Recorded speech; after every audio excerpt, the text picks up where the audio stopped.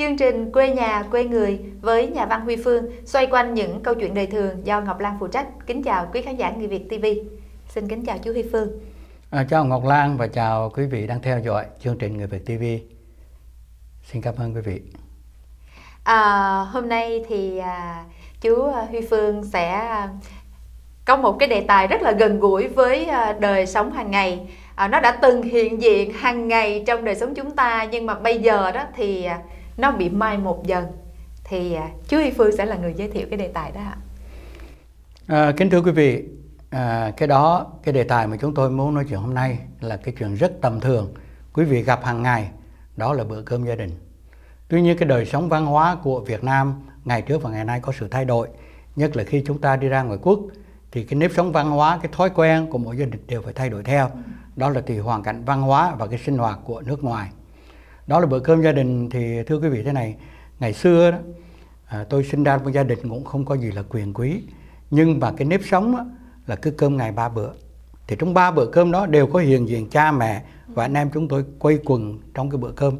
Ngay như bữa sáng thì khi mà à, bố tôi thức dậy đi làm thì cũng có một mẹ tôi đã nấu một cái mâm à, cháo cháo trắng hoặc là cháo đồ xanh ở giữa để một cái dĩa để đường đường cát hoặc là đường đen thì mọi người đều dùng một chén cháo trước khi ờ, ai đi công việc đó. Rồi thì khi bố tôi đi làm thì mẹ tôi à, xách cái giỏ đi chợ. Và quý vị nhớ rằng hồi xưa phụ nữ tôi thấy cái thời đó cũng là thời đó là thời pháp thuộc. Cũng hoài như thời phong kiến đi. Thì cũng khổ là vì thế này. Đi chợ về mỗi ngày đều phải đi chợ. Vì ở đó chúng ta không có tủ lạnh. Và đi chợ là quý vị nên nhớ rằng bữa trưa ăn món canh nào thì bữa tối không ăn món canh đó nữa nhưng mà sau khi tôi vào Nam, tôi thấy đời sống ở trong Nam thoải mái quá. Món canh đó mà ăn hai bữa có sao đâu, mà ngày mai cần ăn lại. Nhưng mà những cái gia đình mà tôi không biết trong Nam, có lẽ ngoài Bắc về người Huế thì hơi giống nhau. Là bữa trưa, ví dụ ăn canh ờ, rau đay thì bữa tối phải ăn canh rau muống. Hai bữa canh phải khác nhau. Chứ không thể nào cái bữa canh bữa trưa mà đem nấu canh bữa tối. Và bữa trưa sau khi bố tôi làm về, chúng tôi đi học về, rồi thời pháp thuộc là chúng ta có nghỉ bữa trưa từ 12 giờ đến 3 giờ là mọi về nhà, mình ăn có thể nghỉ ngơi, thì bữa cơm trưa gia đình cũng phải có tất cả những người trong gia đình. Và bữa tối cũng vậy, và dù trẻ con như chúng tôi có đói trước giờ đi nữa, thì phải cũng chờ bố tôi về mới ăn cơm. Thì tôi thấy cái đó thì à, đối với nước Mỹ như vậy là cũng hơi à, đối xử với trẻ em như vậy thì nó cũng không có tốt đẹp. Nhưng mà đó cái nề nếp hồi xưa của gia đình Việt Nam, thì chúng tôi thấy rằng à, nó không hề thay đổi, mà bữa cơm được có tất cả những người trong gia đình buồn vui là cái bữa cơm và gặp nhau một ngày đúng ba bữa trên cái bữa cơm. Đó là cái nếp sống ngày xưa. À, Ngọc Lan à, không biết đời sống Ngọc Lan nhất là sau anh 75 thì có có cái bữa cơm gia đình như vậy không? À, đối với uh, những gia đình khác thì Ngọc Lan không có biết nhưng mà Ngọc Lan nhớ đó khi còn nhỏ nhỏ xíu cũng vậy. Cứ uh, sáng sớm thức dậy thì uh, à, má Ngọc Lan à, cũng ở trong bếp xong rồi nguyên đám con lũ khủ ngồi thí dụ như chiên nguyên chảo cơm. Thì không có lên bàn ngồi nhưng mà mỗi đứa chia ra một tô thì cũng ngồi xúm xa xúm xích đó. Ăn rồi nói chuyện xong thì tản đi. À, người đi học người đi làm. Còn buổi buổi trưa thì à, về mấy đứa nhỏ thì cứ bới bới tô mà ăn. Còn ba má thì ăn chung rồi à, đến khi mà Ngọc Lan lớn lên á lúc mà còn ở Sài Gòn đó có gia đình rồi thì à, cũng có bữa ăn chiều cùng với lại cả nhà vợ chồng với lại con. À, nhưng mà sang Mỹ này á, thì à, càng lúc nó càng may một. Và rõ nhất là bây giờ bây giờ thì hầu như là chỉ có cuối tuần thì may ra. Yeah. À, như vậy là có sự khác biệt giữa tôi và Ngọc Lan giữa hai thế hệ khác nhau. Ngày xưa mà ví dụ buổi sáng mà một đứa trẻ mà cầm một chén cháo mà ra đi góc đứng ăn một mình là cái đó không bao giờ có thể xảy ra. Tất cả đều phải ngồi ăn mà ăn đàng hoàng. Ăn xong hết chén cháo thì gác đôi đũa lên trên cái chén để tỏ là mình ăn xong. Nếu có lễ phép thì xin phép uh, con ăn xong rồi mà không thì tạng lờ đi. Nhưng mà đôi đũa phải gác trên cái chén để có nghĩa là mình ăn xong. Và khi ăn là mọi thành viên trong gia đình đều có mặt. Chẳng phải tôi thích ăn tôi bưng chén cháo ờ, ra computer tôi ngồi hay là tôi bưng chén cơm ra đứng uh, đầu ngõ tôi nói chuyện với bạn cái đó không bao giờ xảy ra. Thế thì bây giờ đó à, Ngọc Lan là người lớn lên sau 1975 ở Việt Nam. Chúng tôi sau 1975 thì đi tù và sau 7 năm về năm đó là năm 1982 thì phải thấy rằng chúng tôi đã mất cái văn hóa bữa cơm gia đình là không bao giờ còn bữa cơm gia đình mà cha mẹ anh em ngồi ăn với nhau. Bữa sáng thì uh, vét cơm ngồi hay là có cháo hay là có mì gì đó thì mọi người đều tìm cách là ăn cho xong rồi vô con trai thì đi tới làm trong một cái hạng nhôm bà xã thì đi làm cái gì hợp tác xã đó. Còn chúng tôi mới đi tù về thì ở nhà. Thế nhưng mà sẽ không còn bao giờ có cái bữa cơm gia đình nữa. Bữa trưa thì có thể người ăn ở chỗ làm việc. Chúng tôi ở nhà thì có gì ăn đấy vào bữa tối. Thì có thể nó vét nồi cơm ra, bỏ một tí mắm tí ruốc gì đó ra, kiếm một góc nào ngồi ăn. Và cái hòa, cái hình ảnh một gia đình sum họp à, ông nội bà ngoại hay là à, gia đình cha mẹ con cái ngồi lại với nhau bên cạnh có thể là có một con mèo nó gừ gừ gừ nó nằm bên ờ, lòng bà nội thôi. Ngày xưa ngày xưa sẽ không bao giờ còn nữa. Cái bữa cơm gia đình sau 75 là một cái gì mà gọi là phong kiến là xa xưa sẽ không còn nữa. Rồi bây giờ đó chúng ta lại ở Mỹ một cái đất nước mà chúng ta bỏ ra đi bỏ Việt Nam ra đi để đến đây. Thì là cái văn hóa nó lại thay đổi nữa. Có thể nói là chúng ta sẽ không còn cái bữa cơm gia đình mà cha mẹ anh em cùng ngồi quây quần với nhau còn ăn một bữa cơm. Dạ những cái đó nó trở nên nó nó hiếm trong cái cái cuộc sống này. Hiếm là vì sao? Dạ bởi vì cái cái hoàn cảnh cái môi trường sống à, người đi học người đi làm cái giờ giấc à, ai cũng phải đi làm hết. À, ngày xưa ngọc lan nghĩ á, cái thời mà như chú huy phương kể là thời à, pháp thuộc thì lúc đó người phụ nữ vẫn còn ở nhà để mà tương tất hết những cái chuyện đó và mình cũng không phải như bây giờ là à, bất kể lứa tuổi nào cũng đi học hết đúng không chú à, đến cái thời chú huy phương qua đây thì sao ạ à, từ ngày qua mỹ thì cái sự việc như thế này ví dụ như mình làm ở đây á ừ. ở mỹ nó con cái anh em mình còn làm nhiều ca nhiều ship yeah, dạ, đó. đó thì cái buổi chiều mà cái bữa cơm chiều mà chúng tôi ăn cơm thì là con chưa về nó làm ship tối. Thì có thể khi 11 12 giờ khi mình đã lên giường rồi thì nghe tiếng kẹt cửa con nó về. Thì nó giờ tủ lạnh ra có cái gì ăn cái đó hoặc là cái nồi cơm còn để trên bếp và có thức ăn gì đó thì đứa con những đứa con nó tự ăn lấy. Và bữa sáng á, thì nó phải dậy trưa mình dậy sớm mình có ăn gì đó. Rồi bữa trưa thì ờ, ở Mỹ thì bữa trưa rất là đơn giản không những như bữa trưa nó rườm rà ở Việt Nam. Cho nên ở Mỹ là thường thường bữa trưa à, người thì ăn ở sở người thì ăn ở nhà người thì đi ăn lên với bạn bè. Ở nhà thì có cái gì ăn cái đó cho nên hầu như ba bữa cơm gia đình ở Mỹ à, sẽ không còn nữa. Và tôi cũng rất làm tiếc rằng vì cái hoàn sau 75 dưới thời xã hội chủ nghĩa cũng như thời gian qua Mỹ thì cái văn hóa nó khác hẳn. Cho nên chúng ta không còn những cái bữa cơm gia đình để ngồi với nhau quây quần bên nhau trong một mâm cơm nữa. Thế thì theo Ngọc Lan cái bữa cơm gia đình đó nó có gì tốt và có gì xấu? Nó có có nên duy trì hay không? À, đối với Ngọc Lan nếu mà duy trì được bữa cơm gia đình là tốt.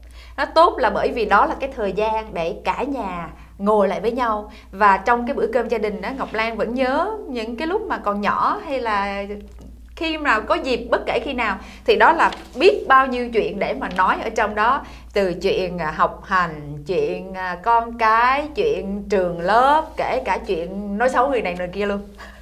Còn chú Huy Phương thì nghĩ sao? À, phải nói rằng cái bữa cơm gia đình nó rất quan trọng. Và gần như là tôi thường thường lúc nhỏ rất sợ bữa cơm gia đình. Tại vì sao? Sao bị mét? Tính thì tinh nghịch rồi à, đi chạy xe đạp đua đó mà khi qua cái khúc quẹo thì mình cố thắng lại. Cứ để phải chạy luôn thì xe nó trượt trượt bánh. Rồi thì mặt mày bị chợt rồi ờ, máu me thế này. Thì làm sao mà bữa cơm trưa bây giờ là mình tránh đi được? Thành phải trường cái mặt ra. Trường cái mặt ra thì ông bố cho một bài học. Cho nên cái bữa cơm gia đình nó tính kiểm soát không làm sao mà giấu gia đình một điều gì hết. Mà dù người mẹ có thương con, có giấu đi nữa, thì ngồi đó thì ông bố đã nhìn cái mặt bày sao vậy? Ừ. thế là rồi một bài. Luôn lý giáo của thư được ra rồi vấn đề tinh nghịch. Cho nên cái bữa cơm gia đình không có gì im lại bữa cơm gia đình cũng có những nguồn tin vui. Bữa cơm gia đình là coi như là cái bữa sáng tin tức. Ừ. thế thì ông bố có việc gì hay ông về ông nói. À, đứa con à, bà mẹ có gì hay thì nói chung gia đình. Không lại ngồi ăn mà làm tin. Thế nhưng mà cũng có nhiều bữa ăn là nặng nề. nặng nề sóng gió. Nó có chuyện buồn có chuyện trách móc và trong cái gia đình mà có thể nói rằng à, có thể có những khó khăn này nọ, thì cái bữa cơm gia đình nhiều khi cũng là nó u ám như một đám mây chiều mà triệu nặng sắp mưa. Cho nên có bữa ăn cũng là buồn lắm. Có bữa ăn thì lòng phấn khởi, vui tươi, nhưng có bữa ăn mang cái ám ảnh nặng nề thành cái sum họp gia đình người ta nói thì sum họp thì dễ, nhưng mà đào tạo ra, để tạo ra một cái không khí yên lành, an bình trong buổi ăn thì trường đó là khó tuy nhiên mà sau một thời gian qua bao nhiêu năm thì nghĩ lại tôi vẫn thấy hối tiếc những cái bữa ăn ấy đã không còn nữa tại mỗi người mỗi ngạ và cái văn hóa mỗi đứa nhỏ bưng một chén cơm ra ngồi một góc ăn cái gì đó chứ không bao giờ ngồi lại để nhìn nhau trong bữa cơm. Yeah. À, Ngọc Lan cũng thấy như vậy. Thành ra đó um, mặc dù có những cái bữa cơm mình cảm thấy rất là sợ hãi ví dụ như khi nhất là khi mà mình làm cái mình điều có lỗi, không vâng. đúng. Dạ, thì rất là sợ phải né trước né sau sau đừng có vô ngồi. Hay là ngọc lan vẫn nhớ má ngọc lan hay nói tụi bay có cái chuyện gì á không vui đừng có lôi ra nói ở trong cái bữa cơm. Vâng. nhớ như vậy.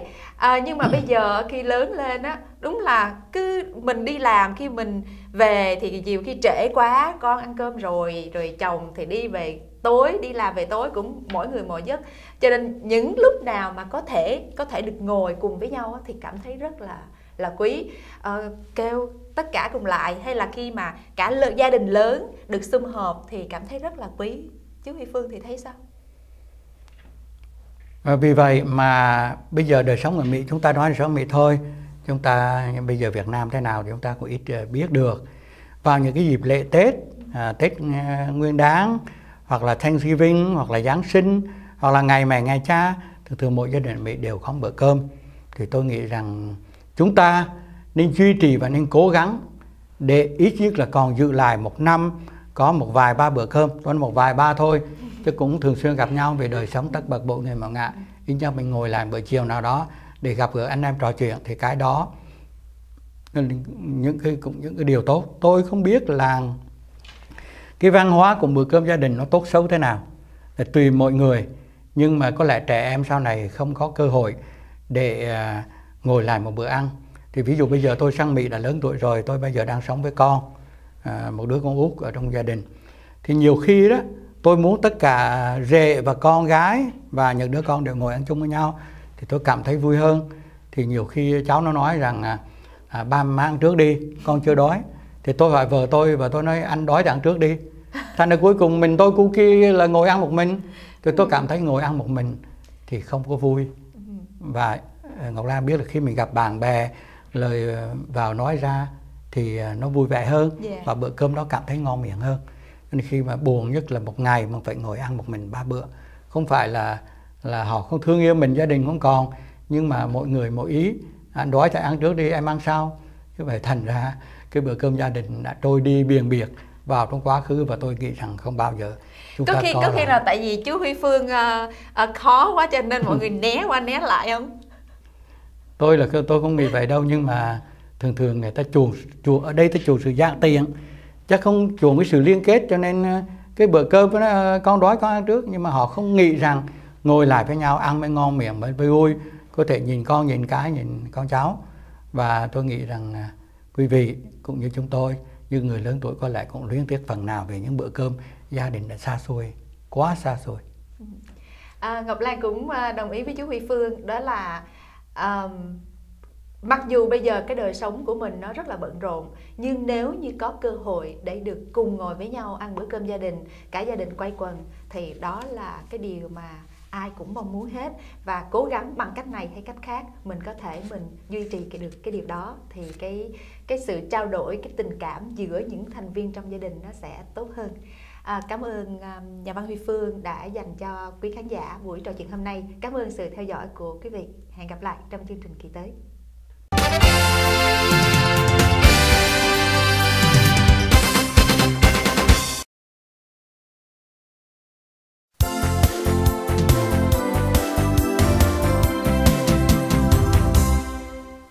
Niệm 35 năm Nhật báo người Việt, 35 năm mới có một lần, chương trình discount 90% quảng cáo cho các cơ sở thương mại mới thành lập đặc biệt dành cho các doanh nghiệp nhỏ, thành lập từ 22 tháng 2 năm 2013 đến 11 tháng Giêng năm 2014. Chương trình áp dụng từ 22 tháng 8 năm 2013 đến 11 tháng Giêng năm 2014.